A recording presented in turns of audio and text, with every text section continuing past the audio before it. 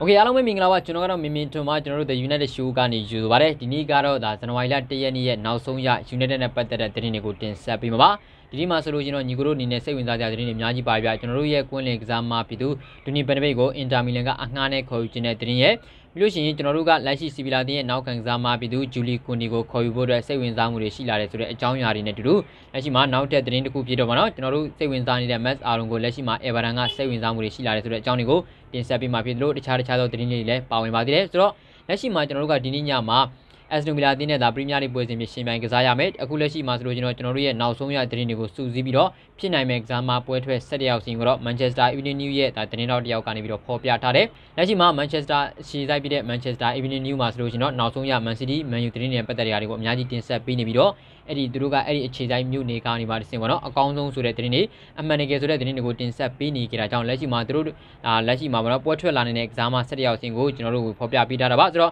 433 433နဲ့လည်းပွဲထွက်ထားခဲ့တာဖြစ်တယ်လို့4နှစ်3နဲ့လည်းပွဲထွက်ထားခဲ့တယ်ဒါပေမဲ့တရားသလောက်ကတော့လက်ရှိမှာ4နှစ်3နဲ့တူကစားမ၁၇ယောက်ကိုကျွန်တော်ဖော်ပြပေးမှာပါလက်ရှိမှာတော့အက်စတိုမီလာတင်းနဲ့ပွဲစဉ်အတွက်ပေါ့နော်အနီးဆက်ဆုံးဖြစ်နိုင်မဲ့ဒါကစားမ၁၁ယောက်စင်ကတော့ဂိုးသမားဖြစ်သူနေရာမှာဒေးဗစ်ဒီဂီယာပါဝင်ပြီးတော့နောက်တန်း၄ယောက်နေရာမှာဆိုလို့ကျွန်တော် ဒါလူရှော့ရဲ့မကွမ်းရရဲ့အဲရစ်ပိုင်ရဲ့ဒါဝန်ပစ်ဆာကာရဲ့ပါဆိုတော့ဒါကတော့ကျွန်တော်တို့ကိုကောင်းခဲ့တယ်ဘာလို့လဲဆိုတော့ကျွန်တော်တို့ကလက်ရှိမှာပေါ့နော်ဒီဗီတာလီနီလော့ဆိုတာတဲ့ကျွန်တော်တို့ကလူရှော့ကိုအာ sorry ဒီပေါ့နော်ဗီတာလီနီလော့ဆိုတာတဲ့ဒီနေ့ပွဲစဉ်မှာ အဲ့ဒီဘိုင်းကိုပို့ပြီးတော့မြင်ကျင်တယ်ဂျက်ဂရီလစ်တို့အေကာစီတို့ကိုတားဆီးနိုင်မှုအတွက်ဆိုလို့ရှိရင်တော့လက်ရှိမှာကျွန်တော်တို့ကဘိုင်းလိုမြန်ဆန်တဲ့နောက်တန်းတကယ်ကိုတွက်လက်ပြီးတော့ဗောနော်ရဲတင်းတဲ့နောက်တန်းတယောက်ကိုလိုအပ်တာဖြစ်တဲ့မကွမ်းရကလည်းဘိုင်းပါလို့ရှိရင်သူ့အနေနဲ့တော်တော်လေးကို confident ဖြစ်သွားတယ်ဆိုတဲ့သဘောမျိုးဒီမှာရှိနေကြတဲ့ကြောင့်လက်ရှိမှာဗီဒါလီလိုရဲ့စားပေါ့နော်ဒီအဲ့ဒီဘိုင်းပါဝင်လာခဲ့တာကတော်တော်လေးကိုကောင်းတဲ့ချက်တွေတော့မြင်မိတယ်နောက်ထပ်ကွင်းလေကစားမ၃ယောက်နေရာမှာတော့ဒါ Fred ရဲ့ Scott McTominay ရဲ့ Bruno Fernandes ရဲ့ပါဆိုတော့ ဆိုတော့ကျွန်တော်တို့အားလုံးသိတဲ့အတိုင်းပဲပြီးခဲ့တဲ့နေ့ကပွဲစဉ်မှာဆိုလို့ရှိရင်တော့ကျွန်တော်တို့က Fred ရောဒီ Scott McTominay ရောဒါပေါ့နော်အများကြီးပါဝင်ခြင်းမရှိခဲ့ရသလိုအဲ့ဒီပွဲစဉ်မှာလည်းလွဲချော်ခဲ့ကြတယ်ဒီနေ့ပွဲစဉ်အတွက်ဒီကစားမနှစ်ယောက်ကိုကျွန်တော်တို့ကပွဲချန်ထားတာလို့လည်းမြင်မိသလိုလာမယ့်နေ့ Manchester City တဲ့ပွဲစဉ်မှာလည်းဒီကစားမနှစ်ယောက်ကိုဒါပေါ့နော်ဘယ်ပြောမလဲဆိုတော့ဒီအနာရယူစေချင်နေတာကြောင့်တော့မြင်မိတယ်ဒါကြောင့်လက်ရှိမှာဥကဒနီကပွဲထွက်ခဲ့တဲ့ပေါ့ပါရောလို့ရှိရင်ပေါ့ပါရဲ့ဒီမာတီရဲ့ကတော့ပါဝင်လည်းခြင်းမရှိဘူးဘရူနိုဘာနန်ကတော့ကျွန်တော်တို့ရဲ့ပုံမှန်ကစားမှာပေါ့ဒါပြင်နောက်တဲ့အတိုက်စစ်၃ယောက်နေရာမှာဆိုလို့ရှိရင်လည်းပဲ ဒါပေါ့နော်ဒန်နီယယ်ဂျိမ်းစ်ရဲ့ The Rashford ရဲ့အန်တိုနီမာရှယ်ဆိုပြီးတော့ပွဲထွက်ထားတယ်အဲ့တော့ဒီနေ့ပွဲဒီမှာကျွန်တော်တို့မျှော်မှန်းထားတဲ့ကစားမှာဖြစ်သူ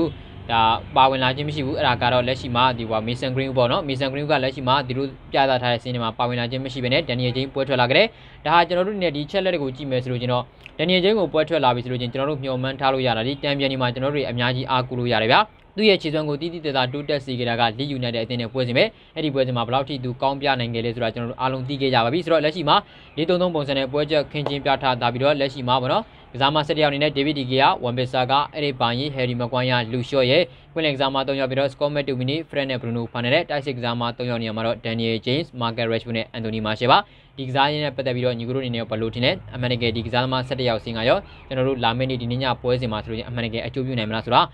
ကွန်မန်လီဒီမှာဝင်ရောက်မှတ်ချက်ပြီးတော့တောင်းဆိုပါရစေဆိုတော့နောက်တစ်ခုကတော့ဒါပေါ့နော်ကျွန်တော်တို့ဂျူလီကွန်ဒီပေါ့စီဗီလာတင်းရဲ့နောက်ကန်ကစားမဂျူလီကွန်ဒီကိုညို့တို့မှတ်မိကြမယ်ထင်ပါတယ်ကျွန်တော်တို့ရဲ့ဒါယူရိုပါလိမှာကျွန်တော်ထွက်ခဲ့ရတော့ကဂျူလီကွန်ဒီတို့ဘာလို့ဆိုလို့ကျွန်တော်ခြေစွမ်းပြသခဲ့တယ်ဗျာလက်ရှိမှာအသက်22နှစ်ပဲရှိသေးတဲ့ဒီကစားမကအခုလက်ရှိပေါ့နော်စပိန်သတင်းစာတောင်ပြတဲ့မွန်ဒိုဒီပိုတီရဲ့ဖော်ပြချက်ရတော့မွန်ဒိုဒီပိုတီပိုရဲ့ဖော်ပြချက်ရတော့ United အသင်းရဲ့တာဝန်ရှိသူတွေဟာလာမယ့်နှစ်ညွာတီအပြောင်းရှိပေါ့နော်ဒီဇန်နဝါရီအပြောင်းရှိမဟုတ်ဘူးလာမယ့်နှစ်ညွာတီအပြောင်းရှိမှာဆိုလို့ချင်းကျွန်တော်တို့ကခေါ်ယူဖို့အတွက်အရန်ကိုစိတ်ဝင်စားနေတယ် ဆိုတော့ Manchester Evening News မှာမဟုတ်ဘူးလက်ရှိမှာ Manchester Evening News ရဲ့ကိုတော်ကုံရဲ့ Daily Mail ရဲ့ပြီးလို့ရှိရင်လက်ရှိမှာပေါ့နော်ဒီစပိန်သတင်းစာတော်ပြီးတဲ့ Mundo Deportivo ရဲ့ပေါ့နော်ဒီလေးခုကနေပြီးတော့ဇက်တိုက်စုလို့ဖော်ပြထားလာမှုတွေရှိနေကြတဲ့ကြောင့်ကျွန်တော်တို့ကလပ်တင်ကအမှန်တကယ်ရောဇန်နဝါရီပြောင်းရွှေ့မှာနောက်တန်းကအားမဖြစ်တော့ဘူးလားကျွန်တော်တို့သိတယ်လက်ရှိမှာဘိုင်းကစားနေတာမှန်တယ် 20B ကိုအားကိုးလို့ရတာမှန်တယ်လင်းလီတော့ကိုတခါတည်းမှာတိတ်အားမရဘူးဆိုပြီးမြဲသူ့ကိုပုံမှန်ပွဲထွက်ခွင့်တွေပေးထားတာကြောင့်အားရအားကိုးလို့ရတာမှန်တယ်ဆိုတော့လည်းပဲကျွန်တော်တို့ရဲ့လက်ရှိနောက်တန်းဟာ လီဗာပူးလိုတီမျိုးကိုစိန်ခေါ်နိုင်ဖို့ပရီးမီးယားလိဂ်ကလပ်တင်တွေကိုစိန်ခေါ်နိုင်ဖို့အတွက်ပရီးမီးယားလိဂ်ချန်ပီယံဆုကြီးကို2013ခုနှစ်နောက်ပိုင်းပြန်လည်ရယူဖို့အတွက်စိန်ခေါ်နိုင်ခြင်းနဲ့ဆိုလို့ကျွန်တော်ကျွန်တော်တို့ရဲ့လက်ရှိနောက်တန်းကိုအထူးသဖြင့်ပြုပြင်มาရမယ်ချို့ညီကိုတွေရဲ့အမြင်နဲ့တော့ကျွန်တော်ကတော့မတူဘူးဒါပေမဲ့ကျွန်တော်တို့ကအမှန်တကယ်ဆိုသလိုဗျာနောက်တန်းကဒီခါတလီမှာတိုက်စစ်ကကိုတွေသွင်းပါစီအောင်တော့နောက်တန်းမှာဆိုလို့ချင်းလည်းပဲနော်အခွင့်အရေးတွေနည်းနည်းလေးပေးခဲ့ရပြီမဲ့အခွင့်အရေးတွေအဲ့ဒီအခွင့်အရေးတွေတိုင်းကကိုပြစ်ပြောင်းလဲခံပေးရခဲ့တဲ့နောက်ပိုင်းမှာကျွန်တော်တို့ရဲ့တိုက်ခန်းစစ်ကတီးတီးတသာဆိုပြီးတော့ကျွန်တော်တို့ကပြောင်းလဲမှဖြစ်မယ် ဒါကြောင့်မို့တော့လက်ရှိမှာကျွန်တော်တို့ကဇန်နဝါရီပြောင်းရွှေ့မှာဒီပေါ်ဒီနောက်ခံကစားမတွေကိုခေါ်ယူပေးမယ်ဆိုပြီးတော့မျှော်လင့်ထားခဲ့ကြတယ်လက်ရှိမှာဆိုလို့ချင်းတော့ဒီပေါ်တော့အဓိကသတင်းသားကြီးတွေကဖော်ပြထားတဲ့ကြဆိုလို့ချင်းတော့ဂျူလီကွန်နီကိုကျွန်တော်တို့ကလက်ရှိဇန်နဝါရီမှာမရနိုင်ဘူးဆိုတော့နွေရာသီပြောင်းရွှေ့မှာကြိုးပမ်းလာပွဲရှိနေတယ်ဒီကစားမကိုကလည်း40နဲ့တန်း60ကြားသွားမယ်ဆိုတဲ့အခါမှာအသက်ကလည်း22နှစ်ပဲဆိုတဲ့ကမှာဇန်နဝါရီပြောင်းရှင်မှာအမှန်တကယ်ပဲကျွန်တော်တို့ကကစားမမခေါ်တော့ဘူးလားဆိုတာမေးခွန်းထုတ်စရာဖြစ်လာတယ်။ဘာပဲပြောလက်ရှိမှာဆိုလို့ကျွန်တော်ဂျူလီကွန်ဒီကိုရရှိခဲ့ရင်လည်းကျွန်တော်တို့တက်တော့ဒါကောင်းနေဆိုပြီးတော့ပြောရပြီးမြဲကျွန်တော်တို့အမှန်တကယ်လူချင်တာဒီဇန်နဝါရီပြောင်းရွှေ့ဆိုတဲ့ကအတူအနေနဲ့ဘယ်လိုဖြည့်ရှင်းလာမလဲ။ဒီပြပြီးသူအိုလီဂနာဆိုချအနေနဲ့ရောဘယ်လိုမျိုးဖြည့်ရှင်းလာမလဲဆိုတာစောင့်ကြည့်ကြရမှာပါ။ညီကတို့အနေနဲ့ရောဘယ်လိုထင်လဲလက်ရှိမှာကျွန်တော်တို့ကအမှန်တကယ်စိတ်ဝင်စားနေတယ်ဆိုပြီးမြဲဇန်နဝါရီမှာခေါ်ယူလို့အဆင်မပြေဘူး။နောက်နေ့ညရွာဒီပြောင်းရွှေ့မှဆိုတဲ့ခါကျတော့ကျွန်တော်တို့ရဲ့လက်ရှိအကောင်းဆုံးလို့ပြောရမယ်ဒီရွာဒီမှာရောကျွန်တော်တို့တွေဒီထက်ပုံမတိုးတက်လာနေရရှိလားဒီနောက်တက်နဲ့ဒါမှမဟုတ်လူစားဝင်ပြီးတော့ဒါအားဖြစ်တင်လာဆိုတဲ့အကြောင်းအရာတွေကိုကွန်မတီဒီမှာ ဝင်အောင်မှတ်ချက်ပေးသွားကြပါဆိုတော့တခါဆက်လက်ကြည့်ရမယ်ဆိုလို့ချင်းကျွန်တော်တို့ကလပ်တင်ကနေဒါ League 1ပြိုင်ပွဲဖြစ်တဲ့ပေါ့နော်ဒီ Charlton Athletic ကိုအငှားချထားတဲ့ကစားမလေးတစ်ယောက်ဖြစ်တဲ့ Dylan Leavitt ဆိုတဲ့ကစားမလေးပါ ဒီကစားမလေးကဝေးနိုင်ငံကလက်ရွေးစင်ဖြစ်ပြီးမြဲလက်ရှိ Charlton မှာဆိုလို့ကျွန်တော်ဆက်တပွဲသာကစားပေးထားရသေးတယ်။ဤပြပြည်သူဦးလီဂနာဆိုရှာနဲ့ကလပ်တင်တာဝန်ရှိသူတွေကဒါကြောင့်ဒီကစားမလေးကိုဇန်နဝါရီအပြောင်းရွှေ့မှာနေကျွန်တော်တို့ကအငှားချထားတဲ့စာချုပ်တရံကိုဖျက်သိမ်းပြဖို့အတွက်ကြံရွယ်နေတယ်။ဘာလို့လဲဆိုတော့ကျွန်တော်တို့ကဒီကစားမလေးကိုပေါ့နော်အငှားချတော့ကသူတို့ဘက်ကနေပြီးတော့ပွဲထွက်ခွင့်တွေပေးပါမယ်။ပုံမှန်ပွဲထွက်ခွင့်တွေရရှိဖို့အတွက်သူ့ကိုဦးစားပေးသွားမယ်ဆိုပြီးတော့ပြောထားခဲ့ပြီးမြဲ လက်ရှိမှာဆိုလို့ကျွန်တော်ကစားပွဲတွေအများကြီးကစားခဲ့ပြီးဖြစ်ပြီးဆက်တပွဲသာကစားရထိတယ်အဲ့ဒီဆက်တပွဲမှာဆိုလို့ကျွန်တော်လူသားဝင်ကစားတဲ့အရာတွေကများတယ်ဆိုတဲ့ကကလပ်တင်ရဲ့တာဝန်ရှိသူတွေကဒီကစားမလေးပြည်သူဒလန်လီဗီရဲ့စာချုပ်ကိုဇန်နဝါရီပြောင်းရွှေ့မှာဖျက်သိမ်းသွားဖို့ရှိနေတယ်တရားဒီအငှားစာချုပ်ချထားခဲ့တာဖြစ်တယ်လို့လက်ရှိချာတန်အက်တလက်ရဲ့ဘက်ကလည်းပေါ့နော်ယာတီကုံတီအငှားချပြီးဖို့အတွက်ပြောဆိုထားမှုတွေတော့ရှိနေကြတယ်။ဒါပေမဲ့ကလပ်တင်ရဲ့တာဝန်ရှိသူတွေကဗျညီကိုတို့သိတဲ့အတိုင်းပဲကျွန်တော်တို့ကဒူငယ်ကစားမလေးတွေကိုအငှားချတယ်ဆိုတဲ့အနေအထားမျိုးဒီမှာကျွန်တော်တို့ကလပ်တင်ရဲ့ဘက်ကနေပြီးတော့ မှန်တကယ်ပြောလို့ရှိရင်ပေါ့ဒီပွဲထွက်ခွင့်တွေများများပေးကြခြင်းရတယ်။ဒါကြောင့်လည်းကျွန်တော်တို့ကလီဝမ်ပြိုင်ပွဲပေါ့နော်။တန်ပွဲတစ်စင်းနေတဲ့လီဝမ်ပြိုင်ပွဲတွေကိုကျွန်တော်တို့ကအငှားချထားခဲ့တာ။ဒါပေမဲ့ကံမကောင်းစွာနဲ့ပဲလက်ရှိမှာကစားမလေးကိုနီးပြဖြစ်သူကတိတ်သဘောမကျတယ်လို့ပွဲထွက်ခွင့်ကလည်းအများကြီးမရဘူးဆိုတဲ့အခါမှာဒီကစားမလေးကိုတော့ကလပ်တင်တာဝန်ရှိသူတွေကဇန်နဝါရီမှာတင်စာချုပ်ကိုဖျက်သိမ်းပြီးတော့ကလပ်တင်စီကိုပြန်လည်ခေါ်ယူဖို့အတွက်ကြံရွယ်နေပါတယ်။ဒါကတော့လူငယ်ကစားသမားဖြစ်သူဒါအသက်20ရွယ်ဒလန်လီဗီရဲ့တင်မှာဆိုတော့နောက်ထပ်တစ်ခုကကျတော့လက်ရှိမှာ Everton တင်းပေါ့နော် Everton တင်းကကျွန်တော်တို့ကခေါ်ယူဖို့အပြင်းထန်စိတ်ဝင်စားနေတဲ့ Norway ညာနောက်ကကစားမလေးဖြစ်သူ ဒါဒီဒီဒီဘောဒီဘော Max အာလုံးပေါ့နော် Max အာလုံးကိုခေါ်ယူဖို့အတွက်စိတ်ဝင်စားမှုတွေမြင့်တက်နေတယ်ဆိုပြီးတော့ဒါ Team Talk ကပြောထားတယ်ဒီ Team Talk ကတော့လက်ရှိမှာ transfer တွေကိုအကောင်းဆုံးဆိုတဲ့သတင်းတွေကိုရွေးထုတ်ပြီးတော့ဗောနော်ဒါအမှန်ကန်ဆုံးဖြစ်နိုင်မဲ့သတင်းတွေကိုတင်ဆက်ပေးနေတဲ့ဒါဗောနော် Tossport ဒါဒီ podcast တခုပါလက်ရှိမှာသူတို့ကတော့ United တင်ကစိတ်ဝင်စားနေခဲ့တဲ့ Max Aron ဆိုတဲ့ကစားမလေးကို Everton ရဲ့တာဝန်ရှိသူတွေကလက်ရှိသူတို့ရဲ့ညာနောက်ခံကစားမပြီးသူကိုမန်းရဲ့နေရာကိုရေရှည်အစားထိုးနိုင်မှုအတွက်ခေါ်ယူဖို့အတွက်ကြံရွယ်နေတယ်ဆိုပြီးတော့ပြောထားတယ်ဆိုတော့ဒီလိုမျိုးအနေထားတွေမှာကလပ်တင်တစ်ခုရှင်ပြိုင်လာတဲ့ခါမှာကစားသမားဖြစ်သူရဲ့ဘက်ကကလပ်တင်ရွေးချယ်မယ်ပြီးလို့ရှိရင်ဗောနော်ဒီ ဒီနော်ဝေတင်ကတော့ဒါလာစာပိုများတဲ့ဒါကလပ်တင်ကိုတွားပြီးရောင်းချမှာမှန်ပြီးမဲ့ကစားမဖြစ်သူကိုယ်တိုင်ကသူ့ရဲ့အနာဂတ်ကိုတေချာစီမဲ့အနာဂတ်ကိုသူရွေးချယ်ရမယ်ဆိုတော့လက်ရှိမှာကျွန်တော်တို့ကလပ်တင်ကလက်ရှိမှာပေါ့နော်အကယ်၍ Everton တင်းနဲ့ပြန်လာရင်ဘာကြောင့်လက်ရှိဒီကစားမလေးဖြစ်သူကိုရဖို့အခွင့်အရေးနည်းနေလဲဆိုတဲ့အကြောင်းကကျွန်တော်ကလပ်တင်မှာအာရုံဝင်ဘေဆာကရှိတယ်ဗျာဘေဆာကရှိတဲ့ဒီကစားမကိုခေါ်တာဆိုတာကကျွန်တော်တို့ကသူ့ကို PR ပေးစီလို့ဆိုတာညီကိုတို့အားလုံးသိတယ်ဒါပေမဲ့ အေဗာတန်တင်ကကျတော့လက်ရှိမှာကိုမန်းရဲ့နေရာကိုရေရှည်အစားထိုးခြင်းလို့ဆိုတဲ့အကြောင်းအရာတွေနဲ့ပတ်သက်လို့ရှိရင်ကစားမကစဉ်းစားမယ်ဆိုလို့ချင်းပေါ့နော်ဆိုတော့အဲ့လိုမျိုးစဉ်းစားသွားမယ်ဆိုလို့ချင်းတော့ကျွန်တော်တို့ကကစားသမားတွေကိုရရှိဖို့ကအခွင့်အရေးကနည်းသွားပြီဆိုတော့ကနီးပြပြည်သူကာလိုအန်စတော်ဒီကတော့ပြီးခဲ့တဲ့ဘာဒီနွေရာသီစေကဒီကစားမတွေကိုလိုချင်တာဗျဒီကစားမကိုလေဆိုတော့လက်ရှိမှာသူတို့ရဲ့ဘက်ကလက်ရှိမှာကိုမန်းကိုဆက်လက်ခေါ်ယူဖို့ပြင်ဆင် ကိုမန်းကိုပဲဆက်လက်ပြီးတော့ဗောနော်အသုံးပြုအောင်မယ်လက်ရှိမှာသူ့ရဲ့နေရာကိုလည်းအစားထိုးမဲ့ကစားမကမရှိသေးဘူးဆိုတဲ့အခါမှာအေဗာတန်တင်ရဲ့တာဝန်ရှိတွေကခေါ်ယူဖို့အတွက်စိတ်ဝင်စားလာကြတယ်ဆိုတော့ကျွန်တော်ကလပ်တင်မကဗောနော်စိတ်ဝင်စားထားတာမှမြင်မဲ့ကစားမတွေကိုအေဗာတန်နဲ့ရှင်လိုက်လို့ရှိရင်ရနိုင်ခြင်းနည်းနေတယ်ဆိုပြီးတော့ဒါ team talk ကတော့ပေါ်ပြပြောထားတယ်ဘာဖြစ်ပြောလက်ရှိမှာကျွန်တော်တို့ကပေစာကာရဲ့နေရာကို ဖိအားပေးနိုင်မှုဆိုလို့ချင်းတော့ဒီ mass အာရုံကလည်းမစိုးဘူးဆိုပေမဲ့ဒါမဲ့နေနေရာဒီပြောင်းရှိဆိုလို့ချင်းဗျာဒီ AC Milan တင်းကဒီကိုဒါလောက်ကကလပ်တင်းကိုပြန်ရောက်ပြီဆိုတဲ့အနေအထားမျိုးဒီမှာညီပြပြီးသူဦးဒီကနာဆိုကြနေတဲ့ဘာကိုရွေးချယ်သွားမလဲအမှန်တကယ်သူကိုယ်တိုင်စိတ်ဝင်စားနေတဲ့ဒီဘောနော်ဒီ mass အာရုံကိုပဲဆက်လက်ခေါ်ယူသွားမလားဆိုတာစိတ်ဝင်စားပွဲစောင့်ကြည့်ကြရမှာပါဒါကတော့ Everton တင်းကကျွန်တော်တို့စိတ်ဝင်စားလာတဲ့ mass အာရုံတွေကိုအပြင်းထန်ကြိုးပမ်းလာပွဲရှိနေတယ်ဆိုပြီးတော့ Team Talk ကပြောပြထားတာကိုကျွန်တော်တင်ဆက်ပေးခဲ့တာပါ ဆိုတော့နောက်ထပ်တစ်ခုကတော့ဒါပေါ့ Jack Grealish ပေါ့နီးပြပြီးသူအိုလီဂနာဆိုရှာကကလပ်အသင်းသားတွေကိုပြောထားတယ်လက်ရှိတွေ့မဲ့ Aston Villa အသင်းကအရင်နှစ်ကယာတီကပေါ့နော်အရင်နှစ်ယာတီက Aston Villa အသင်းနဲ့လုံးဝခြားနားသွားပြီဒါပြင်သူတို့ကလပ်အသင်းကိုကပတိန်လက်ပတ်ပတ်ပြီးတော့ဦးဆောင်နေတဲ့ Jack Grealish လိုကစားသမားမျိုးကိုအကောင်းဆုံးရပ်တန့်နိုင်ဖို့လိုအပ်တယ် Grealish ကလက်ရှိမှာပေါ့နော်အမှန်တမ်းပြောလို့ရှိရင်ကျွန်တော်တို့ကလပ်အသင်းကိုဒုက္ခပေးနိုင်စွမ်းရှိတဲ့ကစားမတစ်ယောက်ဗျာ ပြီးခဲ့တဲ့ယာတီကလည်းသူပဲကျွန်တော်တို့အိမ်ဝင်မှာဒုက္ခပေးသွားတာဆိုတော့လက်ရှိအနေထားမျိုးဒီမှာနီးပြပြီးသူအိုလီဂနာဆိုရှာကိုယ်တိုင်ကဒီကစားမကိုရက်တန့်နေတယ်ဒါကြောင့် Fernandez Comment တို့မီနီကိုအသုံးပြုလာဝယ်ရှိနေတယ်လို့ကျွန်တော်ကတော့ထင်မိတယ်ပေါ့နော်ဆိုတော့ဘယ်လိုပဲပြောပြောလက်ရှိမှာနီးပြပြီးသူအိုလီကတော့ပြောထားတယ် Jack Grealish ကိုလွတ်မပေးကြဖို့ Greg Jack Grealish ကိုပေါ့နော်အထင်မသေးကြဖို့နဲ့ Aston Villa အသင်းကိုလီလီဇာသာဒါရှင်ပြိုင်ကစားသွားကြဖို့လက်ရှိမှာပွဲစားတင်ကလေးကပေါ့နော်ကောင်းကောင်းမွန်မွန်နဲ့ဒါတွတ်တွတ်လက်လက်တုံ့ပြန်နိုင်မှုကိုနီးပြပြီးသူအိုလီကပြောထားခဲ့တာဖြစ်တယ်လို့သူတို့ရဲ့ danger man ဖြစ်တဲ့ ဂျက်ဂရီလစ်ကိုတော့လုံးဝ100%အပြည့်အဝအာယုံဆွဆိုင်ပြီးတော့လူကက်ကစားကြဖို့ကိုအလုံးမခံဖို့သူတို့ကိုကြော်ဖြတ်ခွင့်မပေးဖို့ကိုနီးပြပြီးသူအိုရီဂနာဆိုကြကပြောဆိုထားခဲ့တာပါဆိုတော့ကျွန်တော်တို့ကလပ်တင်နေတဲ့အမှန်တိုင်းပြောလို့ရှိရင်အက်စတိုမီလာတင်ဟာအင်မတန်ကိုကောင်းမွန်တဲ့ကလပ်တင်မှာဒီယာဒီမှာပြင်ဆင်မှုတွေများစွာပြုလုပ်ထားခဲ့တာဖြစ်တယ်လို့တကယ်အကလပ်တင်ကြီးတွေကိုပဲနိုင်ယူထားတဲ့ကလပ်တင်တစ်ခုဖြစ်တယ်ဗျာဆိုတော့လက်ရှိမှာဘလို့နေထားပဲဖြစ်နေပါသေးကျွန်တော်တို့ကလပ်တင်ကနိုင်မယ်လို့မျှော်လင့်ရပြီမဲ့ Grealish လိုကစားသမားမျိုးကိုလည်းတကယ်ကိုထိန်းချုပ်နိုင်ဖို့လိုအပ်ပါတယ် ဆိုတော့နောက်ထပ်တစ်ခုကတော့ဒါအီတလီသတင်းစာတစ်စောင်ဖြစ်တဲ့ Corriere dello Sport ပေါ့နော်သူကဖော်ပြထားတာကဘာလဲဆိုတော့အင်တာမီလန်တင်းရဲ့နီးပြပြည်သူအန်တိုနီယိုကူနီဟာဇန်နဝါရီပြောင်းရွှေ့မှာထွက်ခွာမဲ့ခရစ်စတန်အဲရစ်ဆန်ရဲ့နေရာကိုအစားထိုးဖို့အတွက်ကျွန်တော်တို့ကလပ်တင်ရဲ့ဒါအသေးရောက်ရှိလာတဲ့ကစားမပြည်သူဒူနီဘန်ဒဘိတ်ကိုတရားစီအငှားနဲ့ခေါ်ယူဖို့အတွက်ဒါမှမဟုတ်လို့ရှိရင်18လစာချုပ်နဲ့ခေါ်ယူဖို့အတွက်ပေါ့နော်အငှားနဲ့ခေါ်ယူဖို့အတွက်ကျိုးပန်းလာမှုတွေရှိနေနိုင်တယ်ဆိုပြီးတော့ပြောဆိုထားတာဖြစ်တယ်ဆိုတော့လက်ရှိမှာကျွန်တော်တို့ကလပ်တင်မှာပုံမှန်ပွဲထုတ်ခွင့်မရရှိတဲ့ဒီကစားမတွေကဒီကစားမကိုယ်တိုင်ကတော့ဗျာစိတ်ရှည်တီးခံထားတာမှန်ပြီမဲ့ညီပြပြည်သူဦးလီကနာဆူချအနေနဲ့တိတိကျကျကိုကင်တွယ်တတ်ဖို့လိုတယ်။ဘာလို့လဲဆိုတော့လက်ရှိကျွန်တော်တို့ကလပ်တင်မှာရည်သွေးပြရတဲ့ကွင်းတဲ့ကစားမတွေကများသလိုဒူနီဘန်ဒဘိတ်ဘလောက်ပဲခြေသွမ်းပြပါသေးဦးလီကနာဆူချကအခွင့်အရေးပေးတာအရန်နေတယ်ဆိုတဲ့အခါမျိုးမှာကျွန်တော်တို့ကလပ်တင်ရဲ့ကစားမလေးဖြစ်သူကလည်းညူညင်တာပါမျိုးတော့ဖြစ်လာမှာပဲကစားမကိုယ်တိုင်ကတော့မှန်တယ်ပြောလို့ရှိရင်သူကလည်းထုတ်ပြောတာမျိုးတော့မရှိဘူး သူအနေနဲ့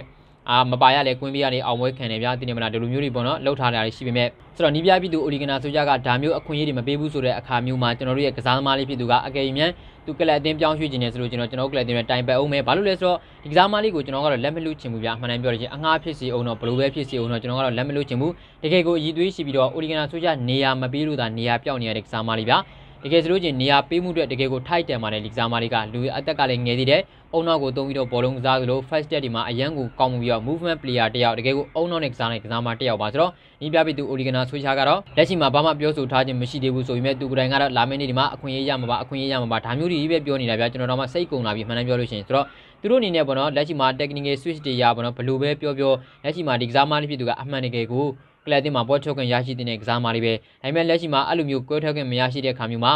ဟိုပေါ့နော်ဒီပေါ့ Dutch media တွေကလည်းပေါ့ဗျာဒီလိုမျိုးတွေ true လာကြတာပေါ့နော်ဒီ Donny van de Beek ကိုအတင်းပြောင်းတာမှားတယ်တခြားအတင်းကိုပြောင်းတင်တယ်အနာဂတ်ကိုစိုးရင်တင်တယ်အာလက်ရွေးစင်တင်တယ်မှာမပါပဲဖြစ်တော့မယ်ဘာညာဒီလိုမျိုးတွေပေါ့နော်ဒီ Netherlands media တွေကလည်းဒီလိုမျိုးတွေပြောလာတာဖြစ်တယ်လို့လက်ရှိမှာဇန်နဝါရီပြောင်းရွှေ့မှာ Christian Eriksen ကလည်းကလပ်တင်ကနေပြောင်းရွှေ့မယ်ကွင်းလေကစားမတယောက်ဖြစ်တဲ့နိုင်ဂိုလန်ကလည်း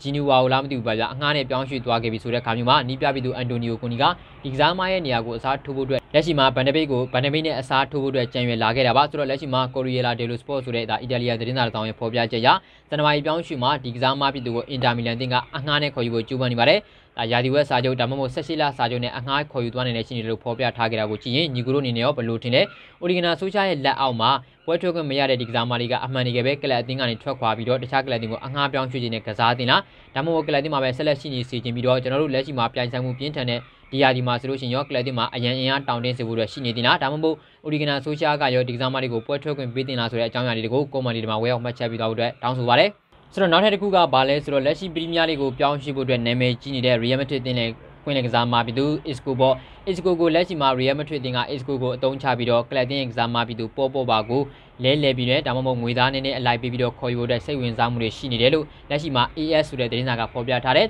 လက်ရှိမှာအမှန်တမ်းပြောလို့ရှိရင်ပေါ့နော်ဒီ AS သတင်းစာရဲ့ဖော်ပြချက်ရဆိုလို့ရှိရင်တော့ကျွန်တော်တို့ကလပ်တင်ကညီပြပြီးသူဦးလီဂနာဆိုရှာကပြောထားတယ်ပေါ့နော်လက်ရှိမှာကလပ်တင်ရဲ့ကွင်းတွေကို attacking midfielder ပေါ့နော် creative midfielder နောက်တက်ထပ်ပြီးတော့ခေါ်ဖို့မရှိဘူးဆိုပြီးတော့ပြောထားတယ်ဒါပေမဲ့လည်းမနိုင်ပြောလို့ရှိရင်ပေါ်ပါကိုအကေး Real Madrid တင်ကလိုချင်လာပြန်ရောဗျာဘာလို့လဲဆိုတော့ကရီးရဲ့လက်ရှိမှာကွင်းလင်ကစားမတွေနေရာမှာအမှန်တကယ်ကိုတိတ်ပြီးတော့အားရကျင်တဲ့ဖွယ်မရှိတဲ့ကစားမတွေအများကြီးပဲဗျာဒါကြောင့်သူတို့ရဲ့36နှစ်တောင်ရောက်ရှိနေပြီဖြစ်တဲ့မိုဒရစ်ကိုနောက်တဲ့တစ်နှစ်သက်တမ်းတိုးထားရတယ်ဆိုတဲ့အနေအထားမျိုးတွေမှာ ဇန်နဝါရီပြောင်းရွှေ့မှာ Real Madrid တင်ကခေါ်ယူခြင်းနေတယ်ဒါပေမဲ့ခတ်တာကဇန်နဝါရီမှာသူတို့ကခေါ်ယူမယ်ဆိုလို့ရှိရင်တော့ငွေသားကိုတန်း90အပြည့်မပေးချင်ဘူးနောက်နှစ်နေရာဒီပြောင်းရွှေ့မှာခေါ်မယ်ဆိုလို့ရှိရင်တော့ဘောနော်ငါငွေချိန်ပြီးတော့သူတို့ကတစ်ချက်ပေးကောင်းပေးနိုင်လိမ့်မယ်ဒါပေမဲ့ကစားမပြီးသူပေါ်ပေါ်ပါကိုဇန်နဝါရီပြောင်းရွှေ့မှာနေရချင်နေတယ်ဒီလိုနေသားမျိုးတွေမှာတန်း90ကလည်းမပေးချင်ဘူးဆိုတဲ့အခါမှာကျတော့ဟိုတနေ့ကကျွန်တော်လူကက်ဗက်စကက်မလားသူနဲ့ကန်လန်မို့တဲ့ဒါတင်းနေအများကြီးထွက်ခဲ့တဲ့ United တင်ကစိတ်ဝင်စားဘူးလက်ရှိမှာ Isco ပေါ့ Isco ဟာပြီးခဲ့တဲ့200ဒီကာလပဲလို့နီးပြပြီးသူ Oligana sorry ဒီဇင်နဒင်းစီဒန်ရဲ့လက်အောက်မှာပွဲထွက်ခွင့်နဲ့ရုံးကန်နေရတာဗျာဘလို့မှအဆင်မပြေဘူးဟုတ်တယ် Isco ကကစားဖို့ညံ့ညောတယ်ပေါ့နော်သူအနေနဲ့နီးစနစ်နဲ့ကစားပဲဘောလုံးစကီကျွမ်းကျင်တဲ့မှန်ပေမဲ့